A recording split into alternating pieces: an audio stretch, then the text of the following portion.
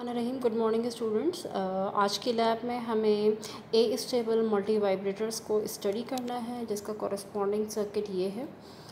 Multi vibrators हम लोग already theory के अंदर स्टडी कर चुके हैं और astable multivibrator is one of the three types of the multivibrator ठीक है? ए स्टेबल मल्टी वाइब्रेटर एक ऐसा मल्टी वाइब्रेटर है जिसके अंदर कोई भी स्टेबल स्टेट नहीं होती, बल्कि ये कंटिन्यूसली अपनी स्टेट्स को चेंज करता रहता है after spending specific time in one of the states based on this theory अब हम इसकी वर्किंग को स्टडी करते हैं। आपको नज़र आ रहा है कि एक ऑपरेशनल एम्पलीफायर कनेक्टेड है। इसके अंदर जो सप्लाई वोल्टेजेस की वैल्यूज़ हैं, वो मैंने यहाँ पे मैं मेंशन कर देती हूँ। V C C plus twelve होगा और वी एस एस जो होगा वो minus twelve plus twelve minus twelve volt की सप्लाई के अंदर हम इसको ऑपरेट कर रहे हैं। कैपेसिटर लगा हुआ है हंड्रेड एंड फोर पिकोफेरेड का, ठीक है।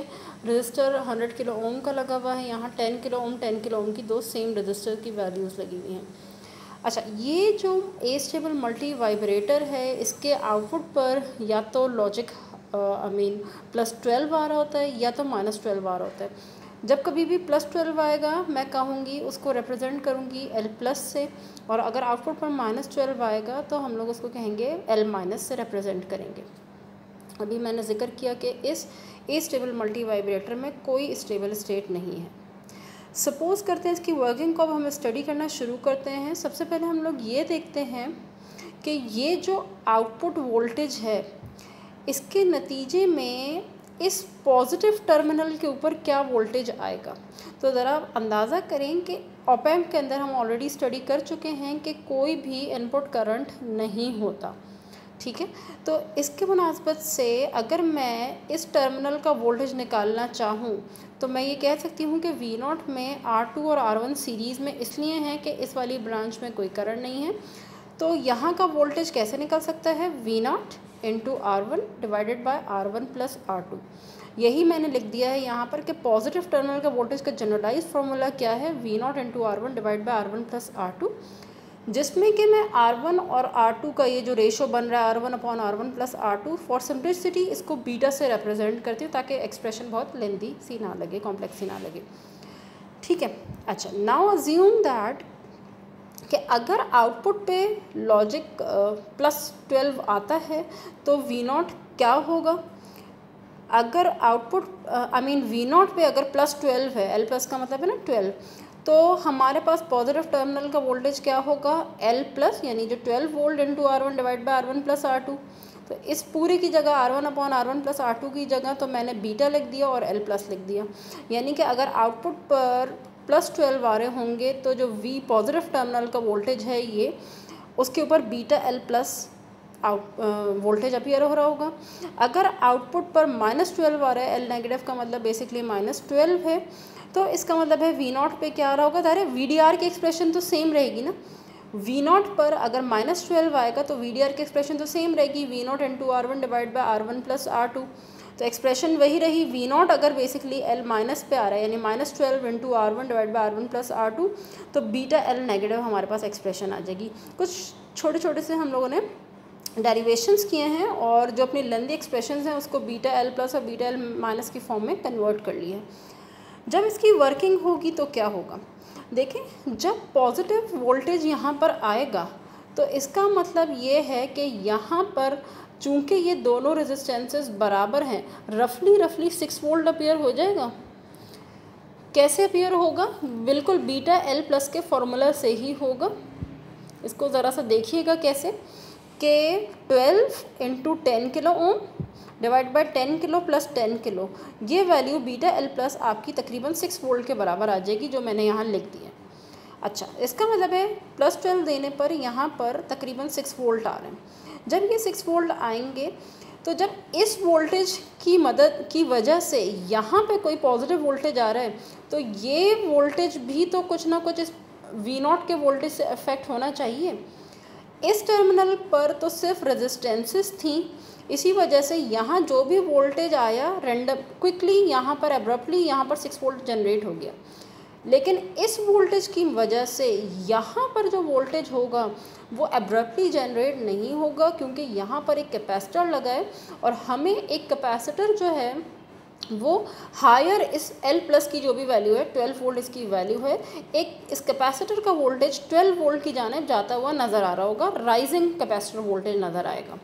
ठीक है, वो वोल्टेज कितना राइज कर सकेगा, वो क्या कैपेसिटर का ये वोल्टेज 12 वोल्ट को अचीव कर सकेगा? नहीं कर सकेगा, क्योंकि जैसे ही ये कैपेसिटर का वोल्टेज इनिशियली जितनी भी वैल्यू पे था, मैं भी इसका ज़िक्र नहीं कर रही हूँ। जब वो इंक्रीज़ करता हुआ जैसे ही सिक्स वोल्ट तक पहुँचेगा, ये दोनों वोल्टेजेस हो जाएँगे बराबर।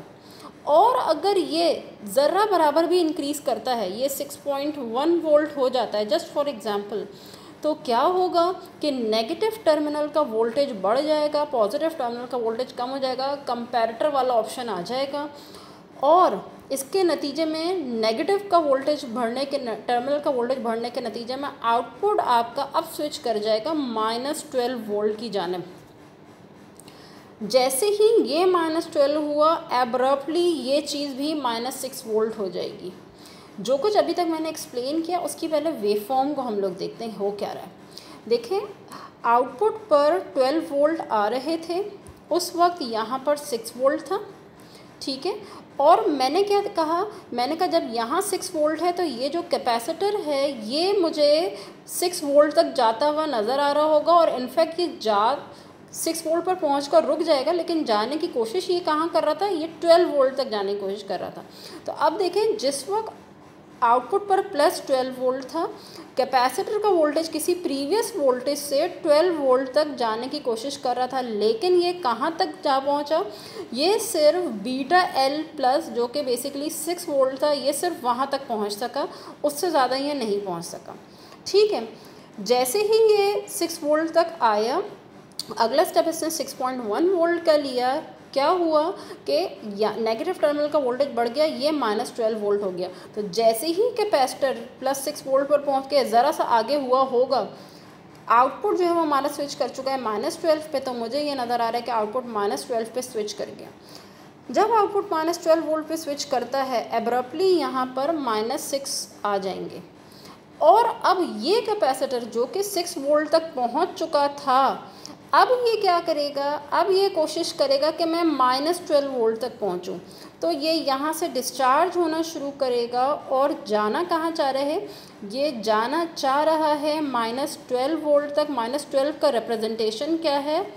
एल नेगेटिव यहाँ पर भी मैं मेंशन कर देती हूँ कि ये जाना कहाँ चाह रहा था? जाना ये चाह रहा था प्लस ट्वेल्व वोल्ट तक, जिसकी रिप्रेजेंटेशन है एल प्लस लेकिन बीटा एल प्लस पर रुक गया था। बिल्कुल इसी तरह ये अब माइनस ट्वेल्व वोल्ट पर जाना चाह तो रहा है, लेकिन ये सिक्स वोल्ट से कम होता जाएगा होता जाएगा minus one minus two minus three minus four minus five जैसे ही ये माइनस सिक्स वोल्ट पे पहुंचेगा, और मान, ये दोनों हो जाएँगे बराबर, और जैसे ही एक सेकेंड के लिए माइनस सिक्स पॉइंट वन होगा तो क्या होगा? यहाँ माइनस सिक्स पॉइंट वन यहाँ माइनस सिक्स इसका वोल्टेज बढ़ गया। आपको ये पता होना चाहिए कि minus six volt minus six point one volt से ज़्यादा है।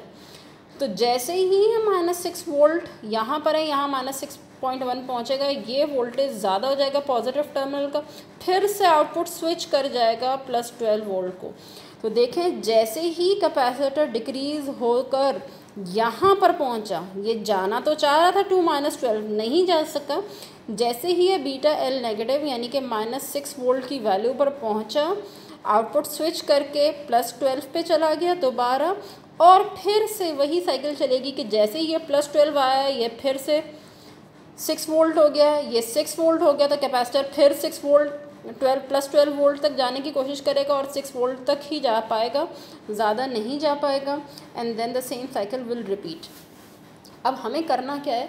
हमें करना यह है कि we are considering that this is time zero this is time T one this is time T two मैं ज़ीरो से लेकर टी वन तक देखूँगी कि कैपेसिटर की क्या इस टर्मिनल की क्या वोल्टेज की वैल्यू है? फिर मैं टी वन से टी टू तक देखूँगी कि इस टर्मिनल की क्या वोल्टेज की वैल्यू है और फिर हम डेरिवेशन करेंगे बेसिकली ताकि फाइंड कर सकें टी वन और टी टू की वैल्यूज़ क्या क्या हैं, जिससे मैं इस वेव फॉर्म की फ्रिक्वेंसी निकाल सकूँगी कि कितनी वेव फॉर्म की फ्रिक्वेंसी होगी जो आउटपुट पर जनरेट हो रही होगी। ठीक है तो एट टाइम अब मैंने क्या किया?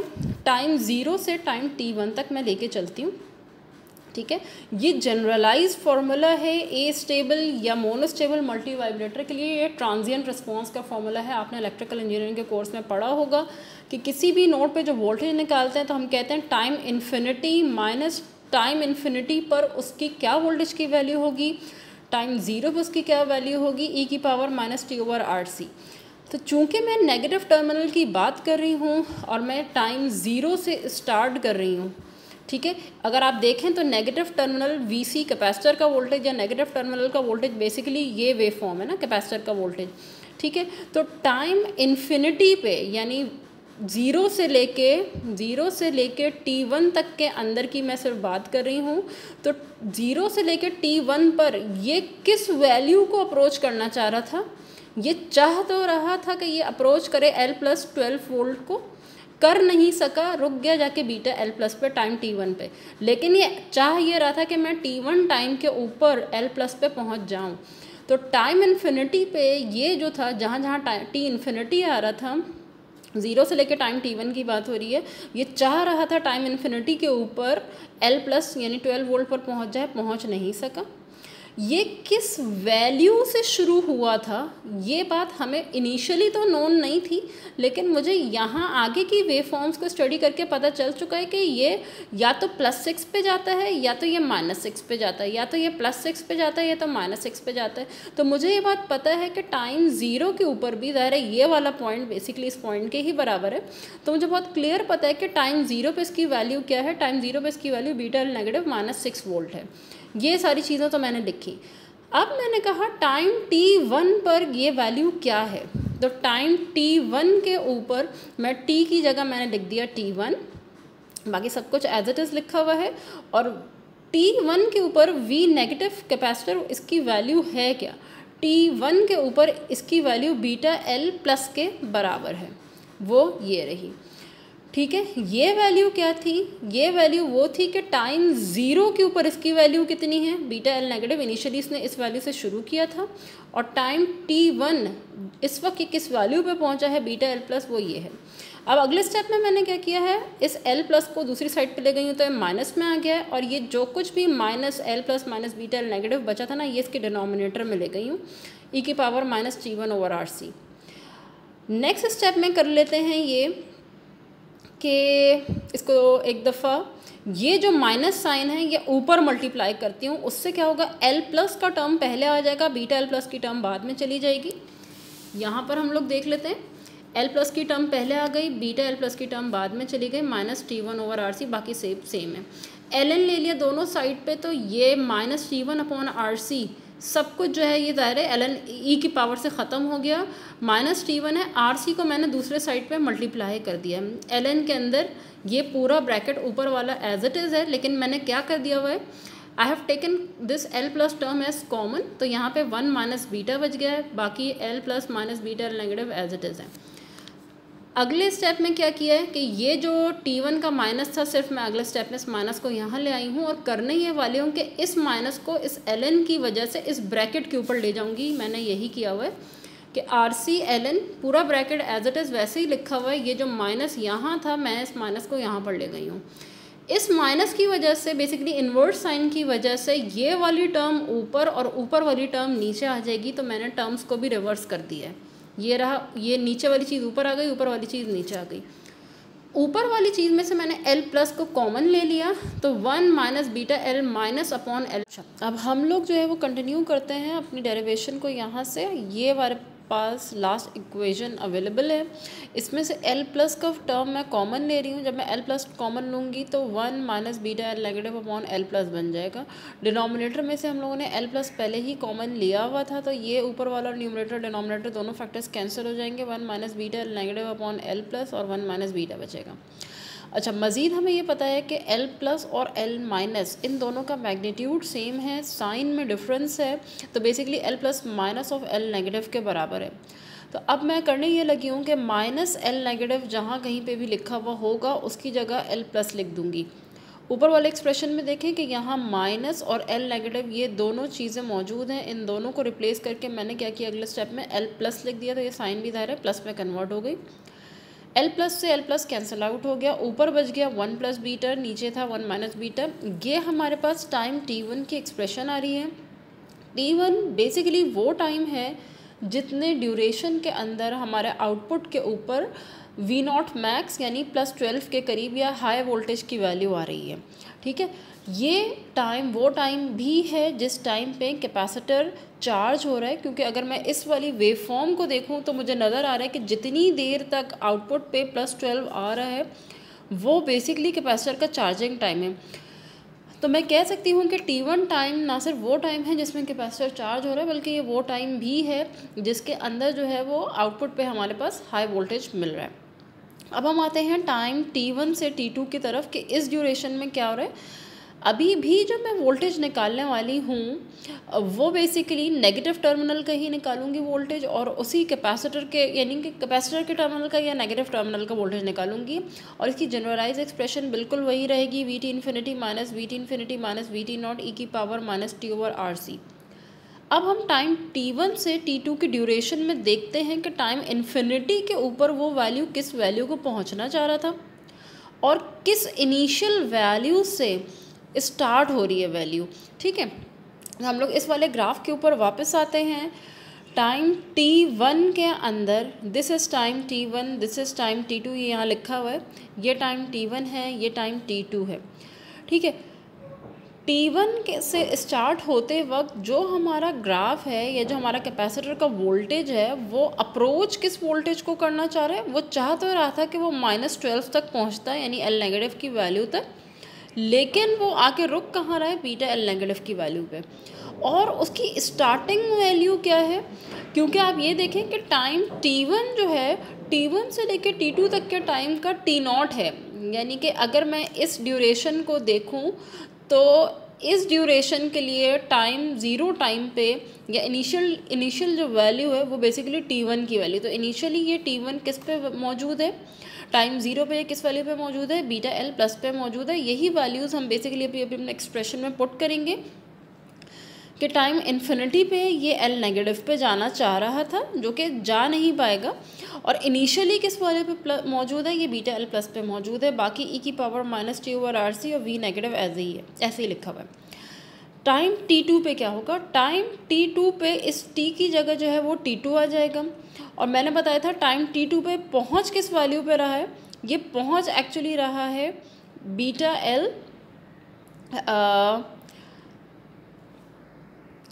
yes time T two पर ये पहुंचेगा किस पे? ये बीटा एल नेगेटिव के ऊपर पहुंचेगा। ये मैंने यहाँ लिखा हुआ है कि टाइम टी टू पे ये किस वैल्यू पे आके रुक गया? बीटा एल नेगेटिव पे आके रुक गया। यही चीज़ मैंने बेसिकली यहाँ पे लिखी है। अच्छा मैंने इसके बीच वाले स्टेप्स नहीं किए हैं। ये बिल्कुल बेसिकली इसी तरह के स्टेप्स होंगे सिमिलर स्टेप्स होंगे बेसिकली और जब आप सॉल्व करके देखेंगे तो आप देखेंगे टी टू भी बिल्कुल सेम एक्सप्रेशन आ रही होगी, जैसे कि टी वन की एक्सप्रेशन आ रही है।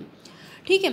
तो अगर मैं टी वन और टी टू को अगर ऐड करूँ तो ज़रा गौर से देखें क्या है? R C L N one plus beta upon one minus beta R C L N one plus beta upon one minus beta तो जो टोटल टी आएगा, वो किसके बराबर हो जाएगा? Two R C L N over one plus beta upon one minus beta यानी दोनों का सम हो जाएगा सिंपली ठीक है? तो आपने करना क्या है अगले स्टेप में? टी वन और टी टू को सम करके टोटल टी निकालना है। और उसका जब आप इन्वर्स लेंगे तो आपको पता चल जाएगा कि हमारे पास जो आउटपुट वेव है, उसकी फ्रिक्वेंसी कितनी आई है। अभी आपको मैं रीडिंग्स दिखा देती हूँ कि हमारे पास कैसा आउटपुट आ रहा है। उस आउटपुट के लिहाज से अब आपने ऑब्ज़र्व वैल्यू और कैलकुलेटेड वैल्यूज़ देखनी है कि जो कैपेसिटर है, उसकी ऑब्ज़र्व वैल्यू क्या आएगी। मैंने तो बेसिकली इस वक्त जो ग्राफ देखा है, मैंने उससे सारी वैल्यूज़ देख ली हैं। यू कैन ऑल्सो वेरीफाई ठीक है? कैलकुलेटेड वैल्यू में हम लोग कैपेसिटर का जो पीक टू पीक वोल्टेज है, वो हम लोग क्या एक्सपेक्ट कर रहे हैं? देखें कैपेसिटर के अक्रॉस जो वोल्टेज आएगा, वो तकरीबन प्लस सिक्स और माइनस सिक्स आएगा। इस वजह से प्लस सिक्स माइनस सिक्स आ रहा है कि अगर हम लोग यहाँ अज्यूम कर रहे हैं कि ये ट्वेल्व वोल्ट आ रहा है। अच्छा एक बात और मैं बता बता दूँ कि हम लोगों ने इस ओपैम को सप्लाई दी है plus twelve volt minus twelve volt तो सैचुरेशन वोल्टेज जो ओपैम का है, जो प्लस ट्वेल्व या माइनस ट्वेल्व आउटपुट पे अपियर हो रहा है this is actually the saturation voltage of the opamp ना? आपको अब ये थोड़ा सा आइडिया होना चाहिए what is the saturation voltage तो ये वोल्टेज हम लोग एग्जैक्टली ट्वेल्व कंसिडर कर रहे हैं। हो सकता है कि एग्जैक्टली ट्वेल्व आउटपुट पर ना आ रहा हो तो हम लोग रीडिंग्स में एक्सपेक्ट कर सकते हैं कि आउटपुट पे प्लस ट्वेल्व माइनस ट्वेल्व के बजाय plus eleven point five minus eleven point five इस तरह की वैल्यू आ रही हो। हो सकता है एग्जैक्ट ट्वेल्व ना आ रहा हो। ठीक है? अच्छा इस ट्वेल्व की मुनासबत से यहाँ पर तो सिक्स वोल्ट आ रहा है। ठीक है? यहाँ पर एग्जैक्टली शायद सिक्स वोल्ट ना आए। ठीक है? क्यों ना आए? क्योंकि ये सिक्स वोल्ट के करीब जैसे ही पहुँचता है या माइनस सिक्स वोल्ट के करीब जैसे ही ये टर्मिनल पहुँचता है तो स्विचिंग हो जाती है। तो रफली हम एक्सपेक्ट कर रहे हैं कि ये टर्मिनल हो सकता है exact plus six minus six पर ना हो, लेकिन बिल्कुल इसके करीब ही होगा। तो ऑन दिस बेसिस मैं कह सकती हूँ कि ये जो मेरे पास कैपेसिटर का जो टर्मिनल वोल्टेज है, वो प्लस सिक्स और माइनस सिक्स के दरमियान वेरी कर रहा है तो उसकी पीक टू पीक वोल्टेज की वैल्यू तकरीबन ट्वेल्व वोल्ट आ रही होगी। आउटपुट पर हमें पता है, आउटपुट या तो प्लस ट्वेल्व आता है या तो माइनस ट्वेल्व आता है, उसकी पीक टू पीक वोल्टेज की वैल्यू कितनी आ गई? ट्वेंटी फोर वोल्ट आ गई। फ्रीक्वेंसी मैंने नहीं कैलकुलेट की है, आपको भी मैंने टी वन और टी टू का फॉर्मूला दिया है। आपने T one T two calculate करना, उसको सम करना है, उससे टोटल टी निकालना है वन अपॉन एफ़ करेंगे, फ्रीक्वेंसी आ जाएगी। वी नॉट की मैक्सिमम वैल्यू हमें पता है plus twelve minimum value minus twelve है। कैपेसिटर का चार्जिंग टाइम टी वन है कैपेसिटर का डिस्चार्जिंग टाइम टी टू है। अभी मैंने ज़िक्र किया है कि ये किस तरह से टी वन टी टू के बराबर है। ये तो वो वैल्यूज़ हैं जो आप कैलकुलेट करके लिखेंगे। ये वो हैं जो मैंने अभी आपको वे फॉर्म शो नहीं की है अभी तक। अब आप जो है वो, जब हम एक्सपेरिमेंट करेंगे तो उसके अंदर ये जो रीडिंग्स हैं वो मैंने यहाँ लिख दी हैं। आप यहाँ से ऑब्ज़र्व वैल्यू उतार सकते हैं। ठीक है?